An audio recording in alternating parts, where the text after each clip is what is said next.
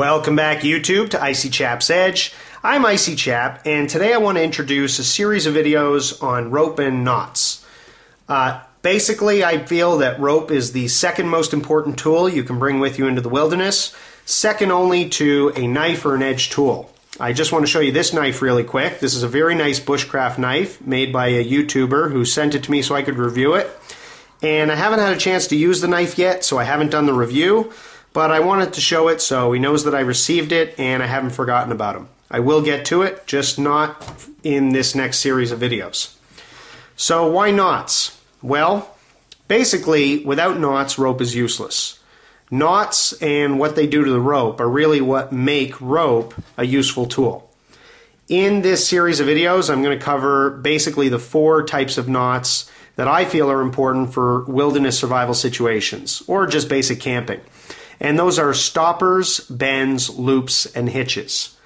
Now, this is by no means a comprehensive list, and if you want to learn more about knots, there are lots of YouTube videos out there, or you can get yourself a book. Uh, you can get a very reasonable modern book for about 10 to 15 bucks. Or if you really want to have the definitive treatise on knots, you can go out and get the Ashley Book of Knots, which was published in the 40s and still remains the most comprehensive knot book out there. But I don't really think it's necessary. All you really need to know are a few of the basic types, uh, how to tie them from memory, and I think you'll be fine in any wilderness situation where you need some cord. Uh, in my videos, I'm going to talk about obviously those basic types of knots, some basic rope terminology, uh, some of the ways in which knots can fail, and how to store your rope properly. Uh, so please stay tuned. I'm going to try to keep these videos short and sweet. Uh, for a couple reasons. Number one, I do respect your time. I realize that you can't necessarily sit for 10 to 20 minutes and watch a whole long video on knots. Number two, I think it'll make it a much more useful reference if you can just go to the individual video and find the knot that you need, as opposed to having to scroll through one really long video. And three, frankly, the practical issue is I just don't think all this information is going to fit in one video. So uh, let's get to it.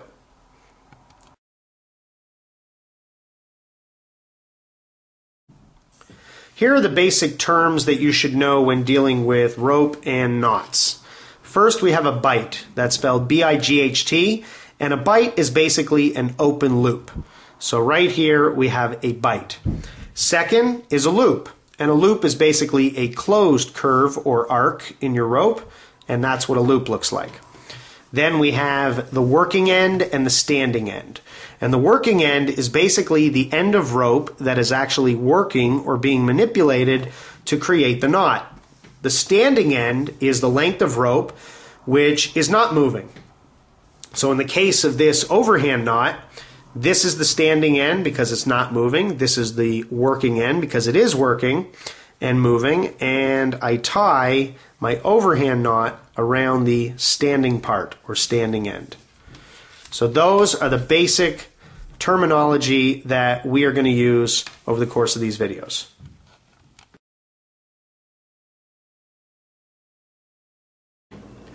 What does it mean to dress and set your knot correctly? Well, simply put, to dress a knot means to make sure that the knot is aligned properly. So in the case of this square knot, what can sometimes happen is, let's say this end somehow becomes reversed and winds up crossed under this end. Well, if that happens, then the knot actually changes its shape to the point where it's no longer as secure or as useful. So what I want to do is to dress the knot is to literally make sure that there are no inadvertent crosses in the knot that are going to make it less secure. Then to set the knot, what that really means is to tighten it. And to properly set your knot means to tighten all the parts of the knot together so that it is as secure as it can be and will not move or shift. That's what it means to dress and set a knot.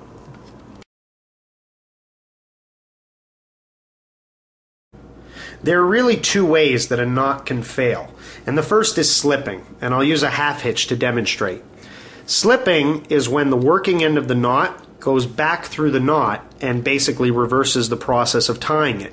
As I put pressure on this half hitch, because it's not a secure knot, the working end comes right back through and unties the knot. The other way a knot can fail is by capsizing. And capsizing, and I'll demonstrate with a square knot, is basically when the knot changes its shape, thereby becoming an entirely different knot, usually less secure than the one you tied. So in the case of this square knot, while it's not a great bend, it does hold the ends together.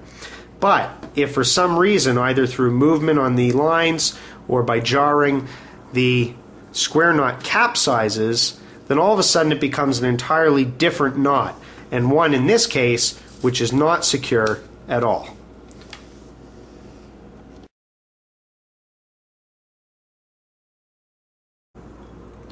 Knots work based on the concepts of friction and pressure. When the rope is pressed against itself, its fibers exert friction, and that prevents the rope from moving. If the rope can't move, the knot stays secure. In the case of knots that seize, the friction in the knot is so great that it actually overcomes the tensile strength of the rope. That means you can no longer untie the knot simply by pulling on the rope. In that case, you will actually have to cut the rope to remove the seized knot. Or you can sometimes use specialized tools like a spike to be able to remove the knot. In some cases, a seized knot is very useful because it's so secure. But most of the time in wilderness survival, we don't want a seized knot because we need to preserve our rope. I'll be showing you one seizing knot, but I only recommend you use it in very dire situations where you need a knot that's completely secure.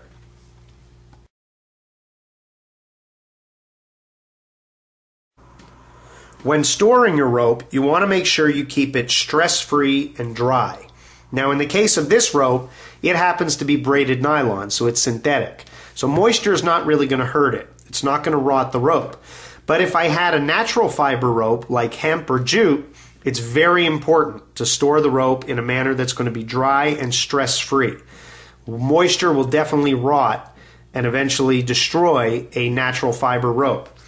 Any rope should be stored stress free, however, because if you develop kinks and you store the rope that way, then eventually that kink is going to put stress on the fibers and the rope can eventually fail. If that happens, you're going to be in real trouble. Last thing you want is a rope that fails on you when your life depends on it.